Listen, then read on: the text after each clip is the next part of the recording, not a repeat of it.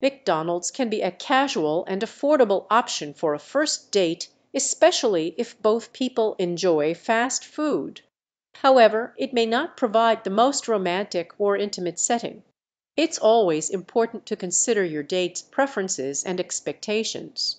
If you both enjoy a more relaxed atmosphere and are comfortable with a casual dining experience, McDonald's can be a suitable choice. Ultimately, the most important aspect of a first date is the opportunity to get to know each other better.